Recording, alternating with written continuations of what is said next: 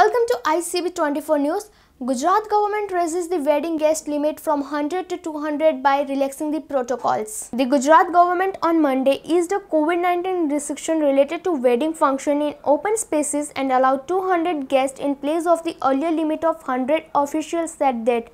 A Gujarat government release said the decision was taken by Chief Minister Vijay Rupani and will be applicable from November 3. It said guests must wear mask and follow all norms including social distancing in place to contain the COVID-19 outbreak while attending such gatherings. The upper limit for guests at function held in closed spaces like hall will be 50% of capacity. The release said that.